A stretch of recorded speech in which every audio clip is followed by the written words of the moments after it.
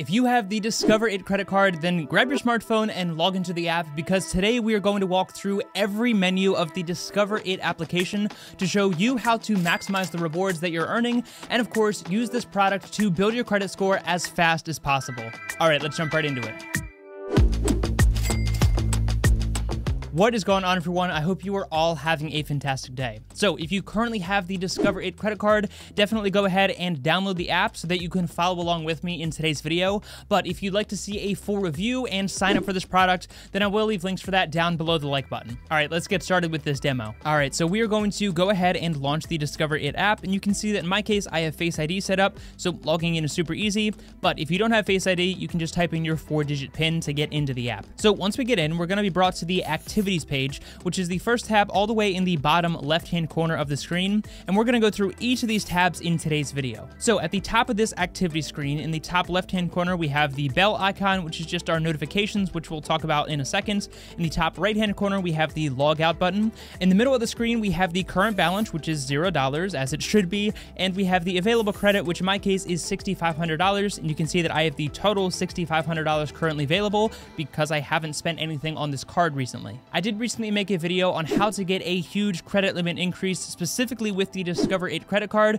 so definitely check that out if you're curious about that topic. Scrolling down from there, we have our recent activity, and I will just point out in general that I personally have more premium credit card products now that I use more regularly, so because of that, I no longer really use the Discover It credit card, which is why you're not really seeing any recent activity, and obviously that's why there is no balance on this card, although if there was, I would personally pay it off, as you probably should as well. So if we click View More Activity, you can click the drop down menu and you can select any different time period. You can see this is just month by month, and basically, this is just going to show you your statement for that particular month. Down below that, we have the View Spend Analyzer button, and this is a new feature that I absolutely love that has been around for a while, but it was added after I first got this credit card several years ago.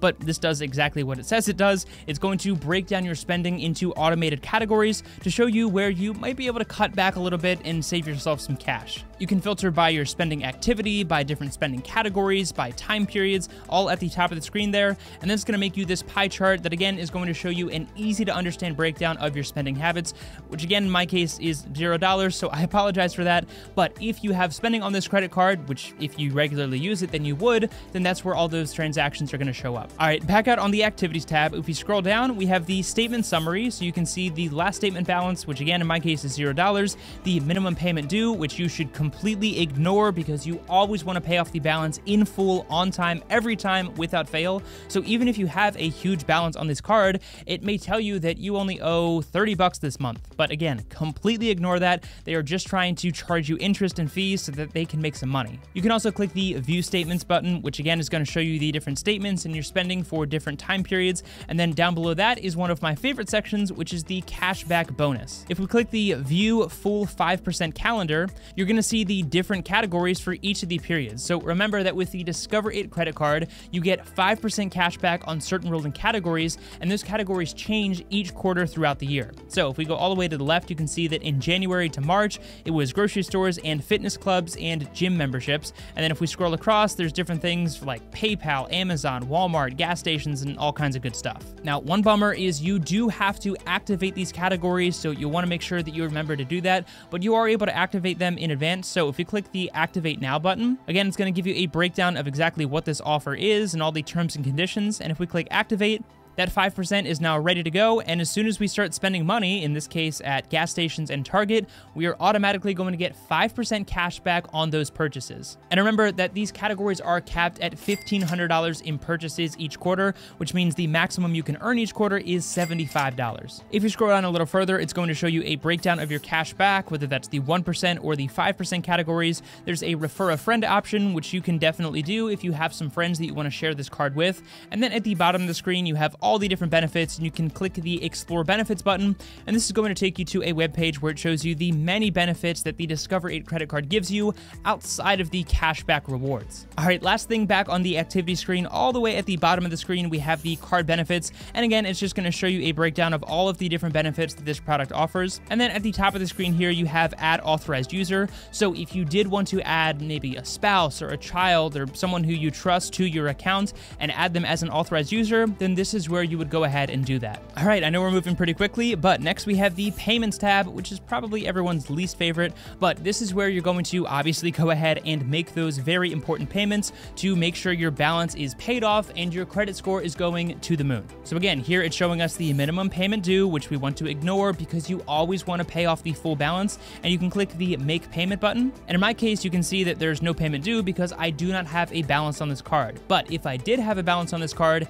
it would simply ask you what bank account you want to pull that payment from, how much you want to pay, whether that be the full balance, the minimum payment due, or you can set a custom amount, and then you just go ahead and complete that transaction. And in my experience, that transaction is usually processed within one to two business days. You can also see your payments that are scheduled, which again is just payments that haven't cleared yet since it does take a few days. And if we click posted, you can see that it has the payments that have posted to your statement. Scrolling down to the bottom of this menu, we have the all important automatic payments option, which I highly recommend. And obviously, if you set this up, this is going to automatically pay off your credit card without you having to even worry about it. You can see that you can either pay off the full balance, the minimum payment due, the minimum payment plus a fixed amount, or you can set a custom amount. But again, as I've said a million times already in this video, I would suggest that you pay off the full statement balance. So if you wanted to set this up, you would just click get started, select what bank account you want to pull that automatic payment from, and then just complete this menu to set that up properly. Below that, we have the change payment due date, which is really nice and something that I don't frequently see with other credit card companies,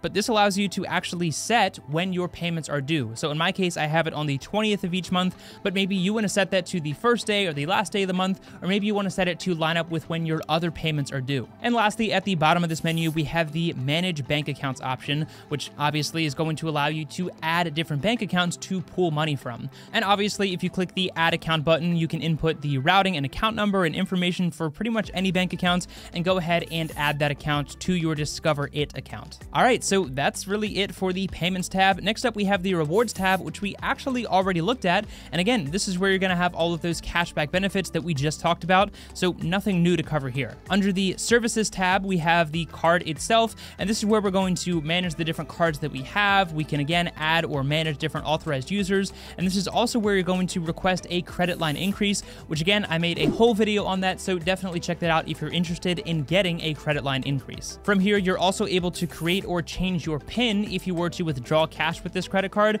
which I wouldn't recommend because usually they charge a pretty high fee. And of course, you also have your balance transfer menu as well. So basically, this is where you're just going to manage all of the different aspects of your Discover It credit card. Again, they have a menu option where you can check out all of the different benefits that the Discover It credit card offers, but we already talked about that. So lastly, we're going to move to the More menu all the way in the bottom right-hand corner of this screen.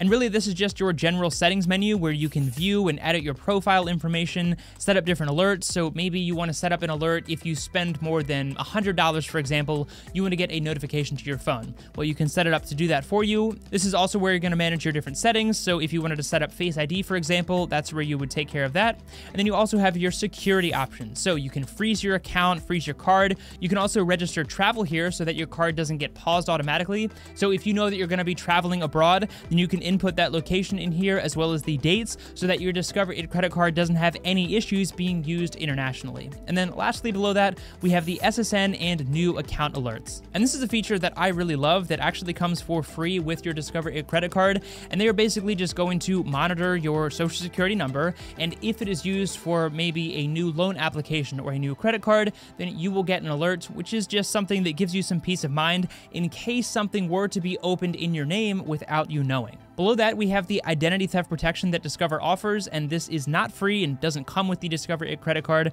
However, it is pretty affordable compared to much of the competition, and it is the identity theft service that I personally use. And again, it just gives you that peace of mind and really is some kind of insurance policy just to allow you to sleep a little bit better at night in terms of your financial health. So if you wanted to sign up for that, this is where you would do that. And then lastly, we have my favorite tab, which would be the Help Center menu. And as I've said many times before, Discover's customer service service is second to none, and they are absolutely amazing. They have 24 7 US based customer support, and every time I have ever had to call them, they have been super helpful. They have put me in contact with the exact person that could help me, and really it only took a matter of minutes, and I didn't have to spend hours trying to get to the person who I was trying to reach. So, all things considered, this app is fairly simple and intuitive to learn, and I think that's another reason why the Discover It credit card is such a great beginner option. But hopefully, this was helpful in showing you the different menus and how you can best use this product to earn more cash back and build your credit score as fast as possible, which hopefully will save you a lot of money in the long term. If you have any questions, feel free to leave them down in the comment section below. And while you're down there,